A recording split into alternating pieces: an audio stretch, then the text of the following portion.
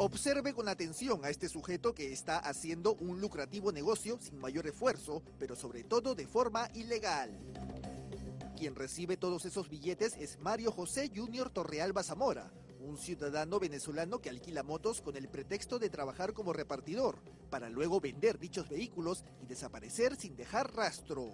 Se le alquilé porque él me dice que, al principio me dice que necesita trabajar de Rapid.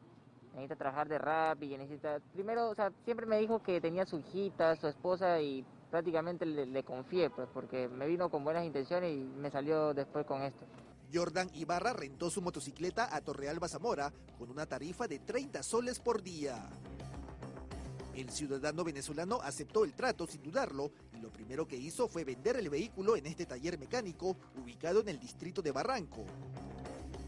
Las imágenes son contundentes, pues se observa a los trabajadores del taller entregando el dinero al sujeto. Como verán, aquí está sacando la moto robada de mi compañero. La señora, la dueña local, no quiere que esté la moto en el local.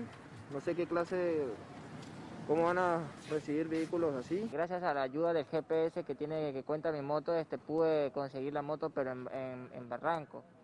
Entonces, eh, de verdad, no, no sabemos el paradero de la persona, no sabemos nada de la persona porque hasta el momento todavía no, no, no sabemos dónde está. Sin embargo, Jordan no es la única víctima, pues Torrealba Zamora habría hecho lo mismo con otras personas que también alquilan motocicletas a través de internet. Me comunicó desde el lunes por Marketplace muy interesado por la moto.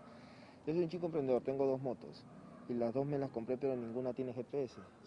Y da la casualidad que soy el único que no ha conseguido la moto por el GPS, ¿no? No solamente yo, fuimos tres, cuatro agraviados. Entonces, así como me lo hizo a mí, se lo puede hacer otra persona. Yo resulta ser yo soy el único venezolano en el grupo que, le hicieron eso, pero no aquí no hay nacionalidades. La comisaría de Barboncito se encuentra investigando el caso, mientras que de Torrealba Zamora no se sabe nada.